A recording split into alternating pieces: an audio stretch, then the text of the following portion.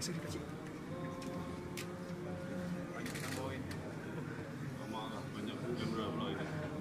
Betul. Apa ada dah masih sama doa kita. Sama kita doa.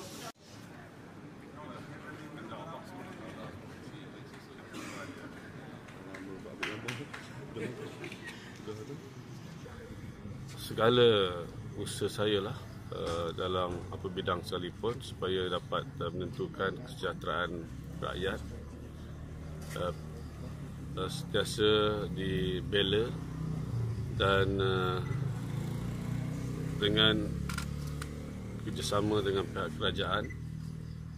Tak kira lah, tak kira lah kerajaan mana sekalipun kerajaan negeri ke kerajaan persekutuan. Kita harus um, mempunyai satu hubungan yang baik hubungan semangat kerjasama untuk membantu dan membela rakyat yang memerlukan uh, bantuan ataupun pertolongan. Inilah antara uh, perkara yang pertama yang saya cuba nak uh, mendekatkan.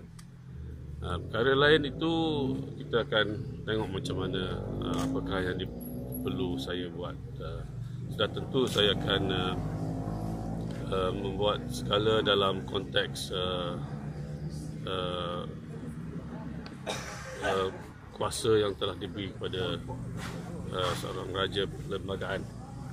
Ya, saya tidak uh, boleh nyata satu persatu. Tetapi cukuplah untuk menyatakan kita perlu saya perlu banyak nasihat teguran uh, pandangan yang bernas.